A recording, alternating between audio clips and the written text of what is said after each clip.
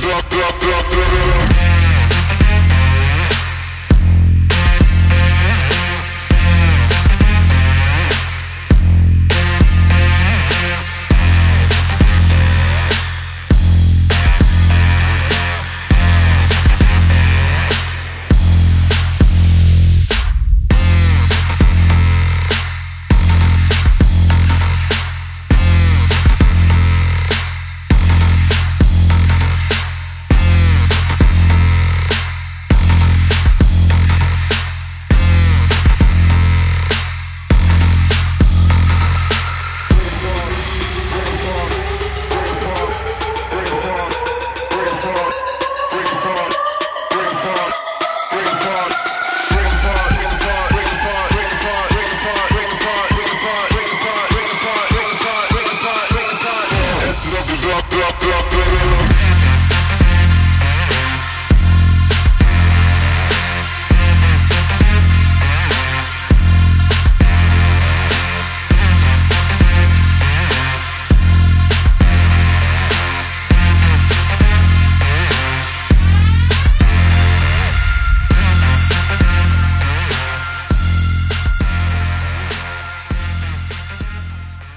Danas na testu Audi RS7 iz 2014. godine.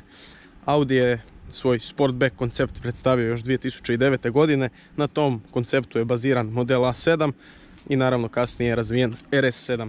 RS7 se prvi put proizvodio 2013. godine. Automobil sa testa, kažem, dolazi iz 2014. i proizvodio se sve do 2019. godine i do novog modela. Tvornički je ovaj automobil razvijao 560 konja, i 700 Nm, ali kao što sam spomenuo ovaj automobil je dorađen i e, o konkretnim nekim stvarima, o konkretnim promjenama na ovom automobilu ćemo govoriti kad dođemo do samog motora. Test ćemo naravno početi dizajnom, naravno s prednjeg kraja. evo, vi sami ocijenite. Ja ću vam snimat. Snimat ću i pokušat ću što manje pričati zato što u principu šta da kažem osim da pohvalim ovaj auto, osim da pohvalim tu liniju. E, dan danas, znači auto je star 6 godina, dizajn je star 7 godina, a u biti ako uzmemo koncept je star i 10 godina. Međutim, dan danas auto izgleda i tekako novo, i tekako privlačno, i tekako agresivno. Prednji kraj koji zaista ovaj automobil kada je došao na tržište je donio onako jedan veliki, veliki boom.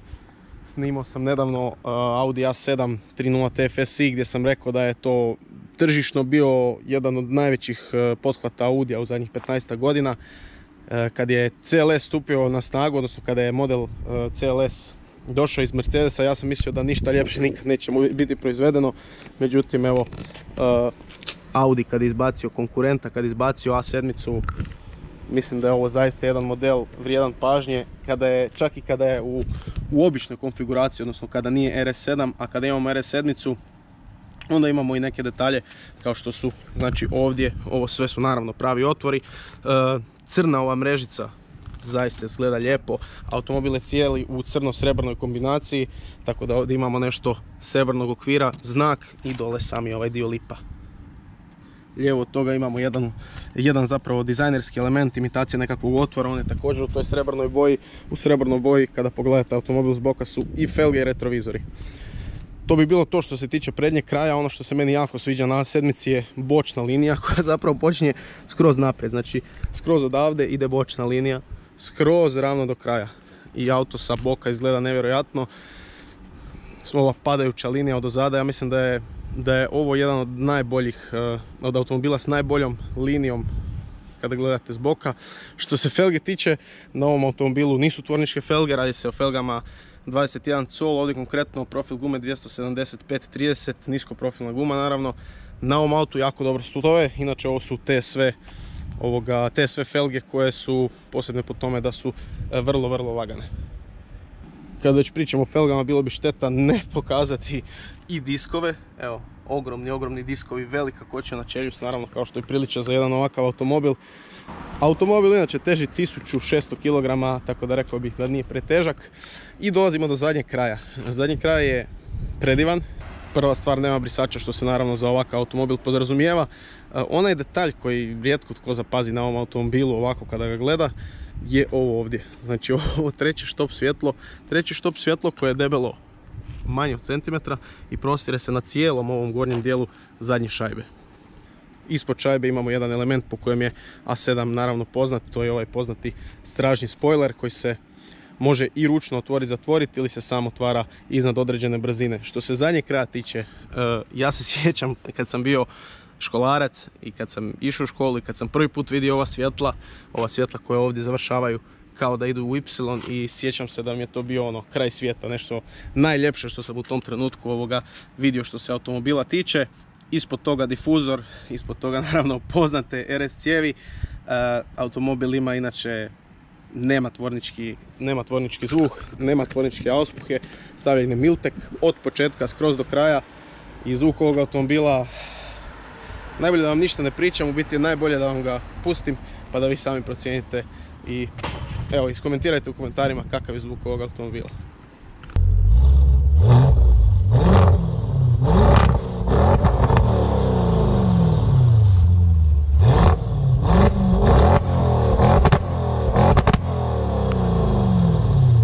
Zavirit ćemo prtljažnik ovog automobila, naravno vrata prtljažnika se elektronski otvaraju i zatvaraju ogromnih dimenzija, znači ovdje praktički možemo leći. Kad spustite sjedalo dovidite gotovo savršenu ravnu površinu i u principu nema ništa manje mjesta u RS6 osim u ovom samom dijelu gdje linija ovog automobila pada, a gdje je RS6 višlji i ima nešto više e, kubika da tako kažemo.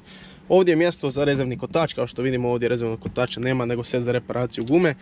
Također kao što možete ovdje vidjeti ovo je Bang Olufsen uh, subwoofer.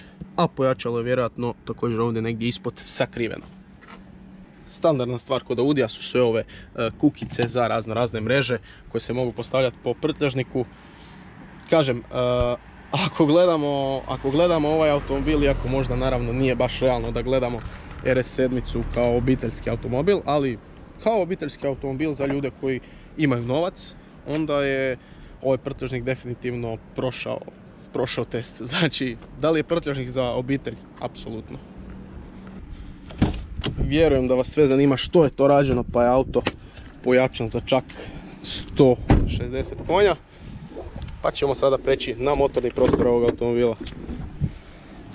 Ispred nas Audi V8 TFSI, inače motor od 4000 kubika. E, već sam vam spomenuo, znači auspuh je rađen Miltek od početka do kraja skroz. Kao što ovdje možete primijetiti, rađen je revo usi zraka i također na, map, e, na automobil je stavljena THP mapa Stage 2 i to vam je dovoljno da on na valjcima izbaci 720 konja i 1000 Nm, što su, što su već ozbiljne i monstruozne brojke službeno od 0 do 100 nemam podatak. Međutim, automobil tvornički sa svojih 560 konjskih snaga i 700 Nm od 0 do 100 ide za 3,5 sekunde. Sada za 160 konja više i sa 300 Nm više možemo nagađati između 3 i 3,5 ajmo reći da negdje 3.1, 3.2, evo, po mojoj nekakvoj slobodnoj procjeni. I došlo je vrijeme da zavirimo u interijer ovog automobila. Što se samih vrata tiče odmah naravno da potvrdimo da se radi o frameless automobilima kao što i priliči jednom kupeu i možemo sjesti u automobil. Što se tiče općenito komplet znači cijelog interijera kao što možete očekivati naravno u automobilu su upotrebljavani samo vrhunski materijali. Mi ćemo sad auto upaliti, mislim da ćete, ne da mislim, nek sam siguran da ćete čuti ovo.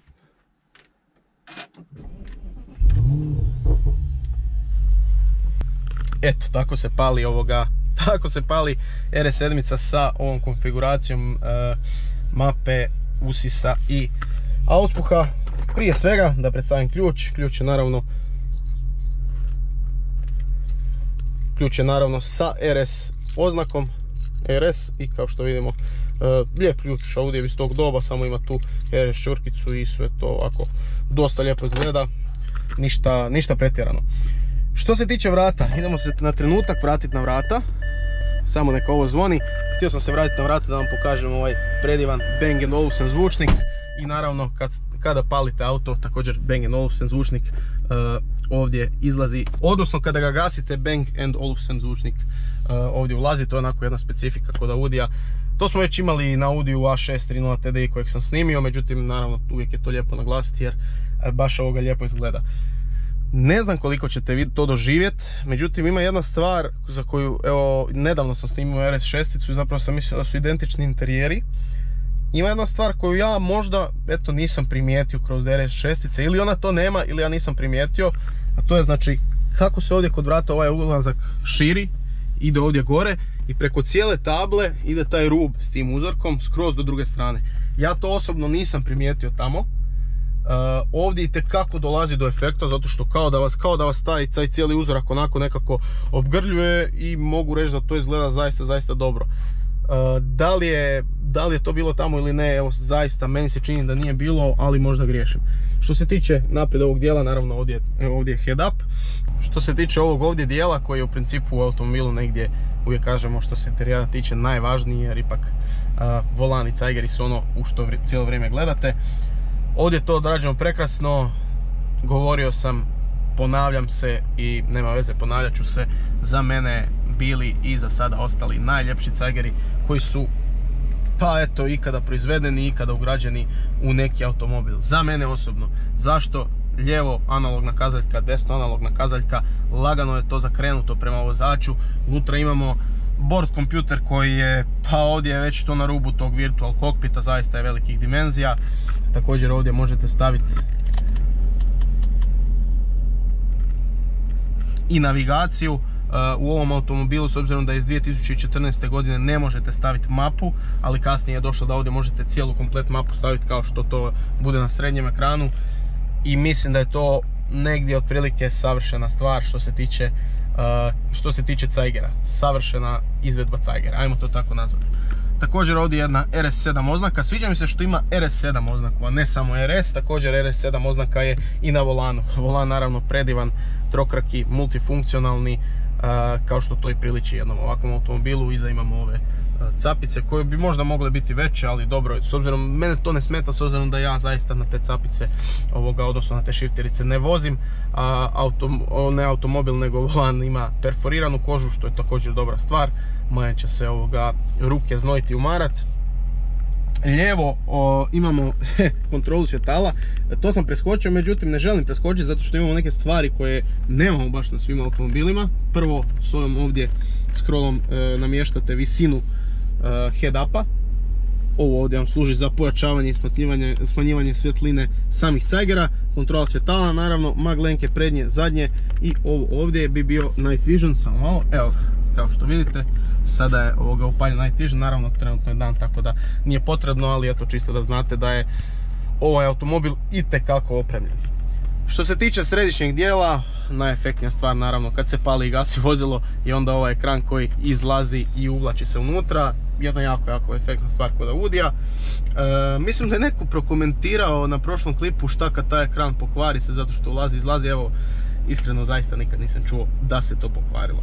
Ispod toga ventilacije, također onda ovaj uzorak koji se prostire cijelim interijerom. Sama ručica mjenjača je kožna, ovoga, sviđa mi se da je na ovom gornjem dijelu perforirana koža, tako da se to slaže ovoga, sa volanom. RS oznaka, aluminij, koža, sve to uvijek naravno lijepo izgleda, šavovi su ovdje. Oko toga imamo klavir crnu plastiku iskombiniranu sa konzolom od ovog već spomenutog, spomenutog uzorka. Sve jako lijepo izgleda, sve smo to već u principu viđali u ovim automobilima koje sam ja snimao, ali evo valja i ponoviti. Ispod toga dva cup holdera koja možete ovako i zatvoriti, pa onda imate ovako jednu ravnu netaknutu liniju. Što se samog naslova za ruku tiče, utičnica 12 V i ovdje imamo ovaj nekakav prelazni jack za USB, pretjenac unutra naravno tapiciran, tako da ništa ne bi trebalo krckat i također imamo jednu policu iznad toga, tako da meni se zapravo sviđa što je ovo napravljeno dvije pregrade, recimo ovdje možete držati neke eto stvari tipa USB kabel, neke stvari koje su vam stalno u autu, a ovdje u ovom gornjem dijelu možete držati naravno mobitel, novčanik i te stvari koje zapravo nosite sa sobom cijelo vrijeme. I važno je naglasiti da je pretinac podesiv po visini. Nažalost po dubini nije, međutim s obzirom do kuda dolazi mislim da bi bio, trebao biti poprilično dovoljan e, za bilo čiji lakat. Od pretinaca u automobilu još imamo pretince u vratima, boca, da, može se nagurati boca pola litre i onako dosta stvari i oni su baš gumirani, znači baš, baš gumirani unutra ovoga, tako da vam zaista ništa neće krckat.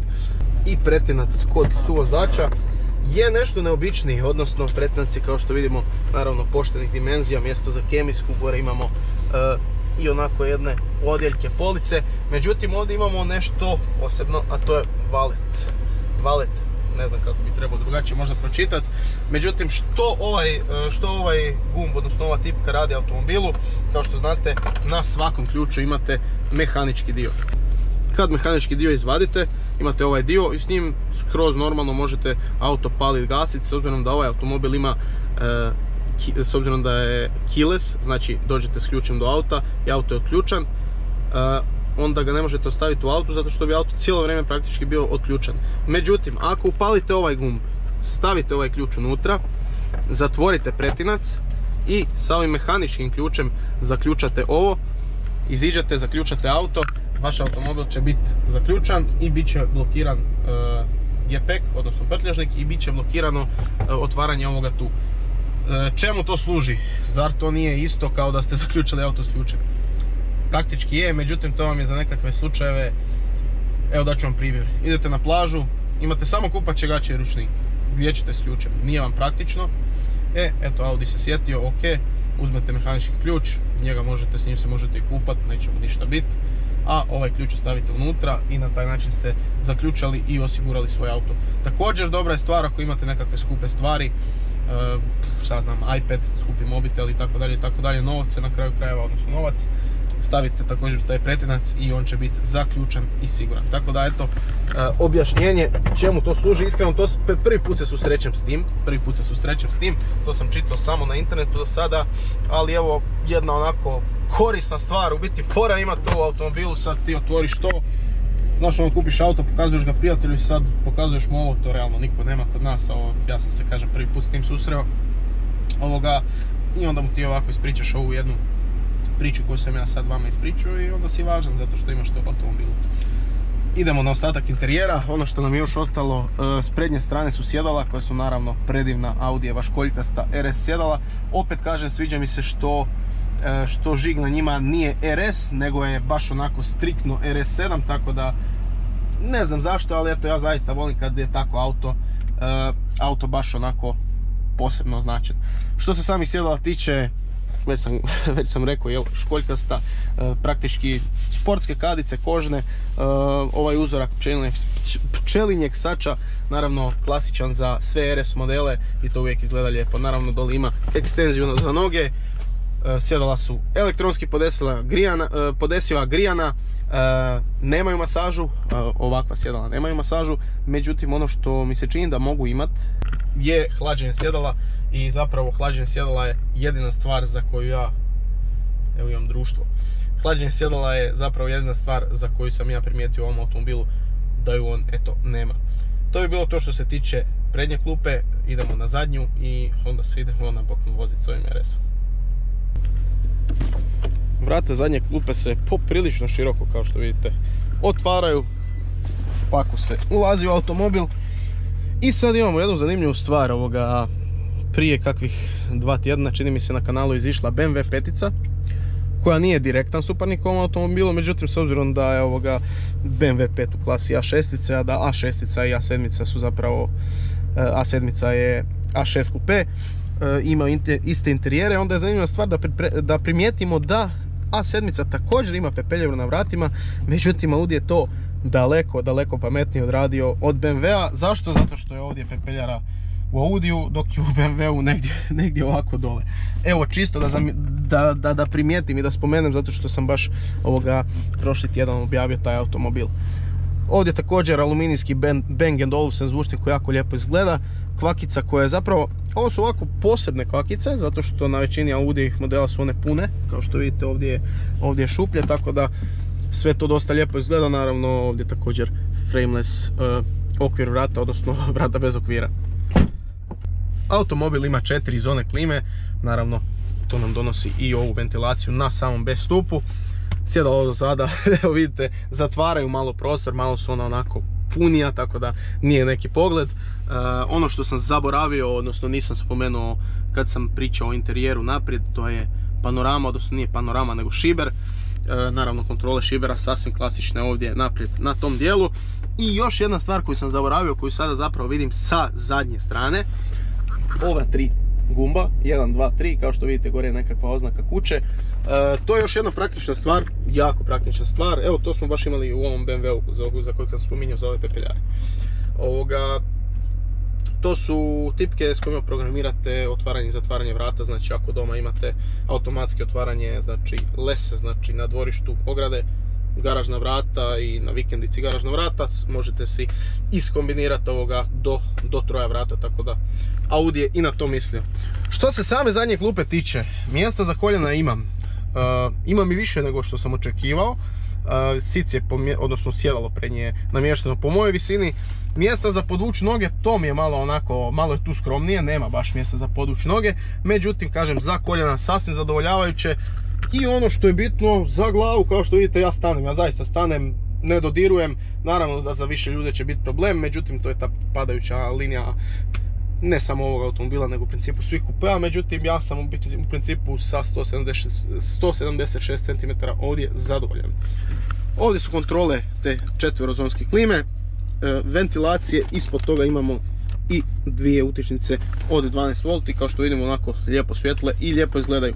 Što se središnjeg naslona za ruku tiče, naravno unutra imamo tepihić i dva cup holdera ovdje. Toga Otvor za skije je, otvor za skije je tu jer naravno ako imate RS7 imate novaca i za skijanje. A što se samih stjedala tiče tu je opet taj uzorak iz ovoga uzorak pčelnog sača kao i naprijed. Ovdje dole imamo pretinac. E, sad zanimljiva stvar je što e, što je ovo automobil za četvero ljudi, znači ovdje pet ljudi ne smijete voziti. Imate automobile, imate sedmice koje možete birati za četvero i za petero, kao što vidite ovdje za četvero. Tako da je ovaj tu tunel još prošireniji u odnosu na normalan, međutim s obzirom da je on ogroman sam po sebi inače, ovoga, na svim A7 modelima i tako tako za trećeg putnika, za petog putnika e, baš i nema mjesta. Pa eto, nije, nije ni ovo loša opcija s obzirom da ovdje dole možete odložiti neke stvari. Automobil koji je dizajnerski dotjeran, ništa nije savršeno, ništa nije savršeno, niti jedan automobil na svijetu nije savršen, dobro možda je neki, ali dotjeran je na sami rub savršenstva i baš, baš onako rađen s ukusom, sa stilom, e, lijepi materijali, lijepa završna obrada, sve fino, sve, sve onako kako treba, zaista su se Njemci i tekako potrudili oko ovog modela, to bi bio moj zaključak što se tiče dizajna, interijera, eksterijera, e, spomenuli smo brojke i motorizaciju, a sad sve to idemo isprobati u vožnji. Evo nas u vožnji RS7.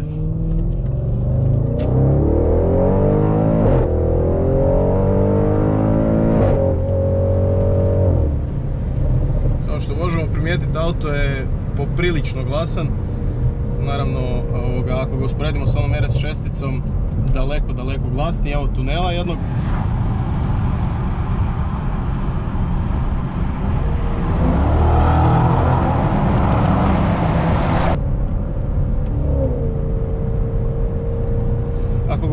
sa Audi RS6 kojeg sam nedavno snimio, daleko, daleko glasniji i otvoreniji auspuh, naravno ovoga, to i košta novaca.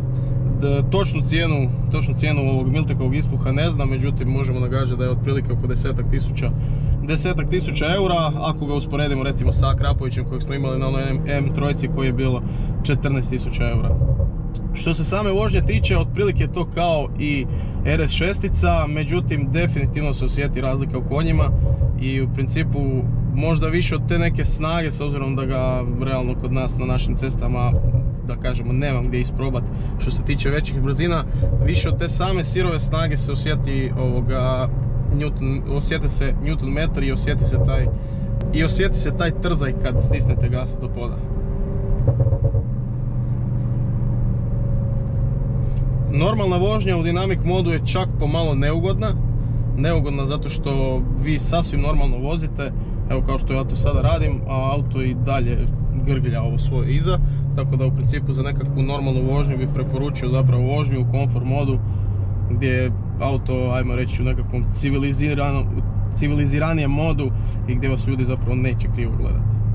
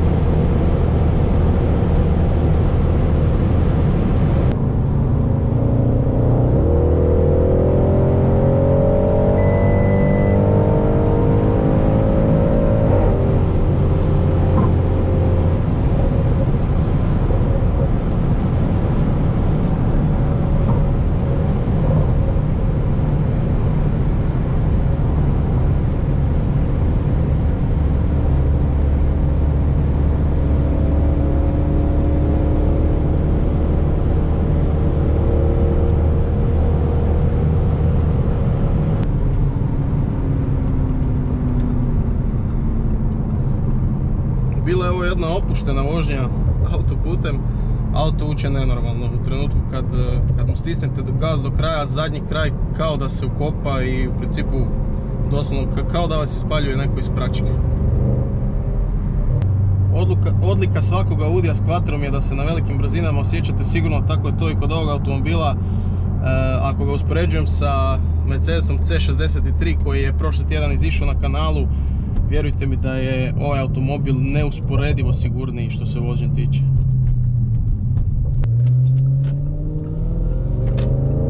Automobil ćemo sada staviti u comfort mod kako bismo ovaj video mogli u miru privesti kraju.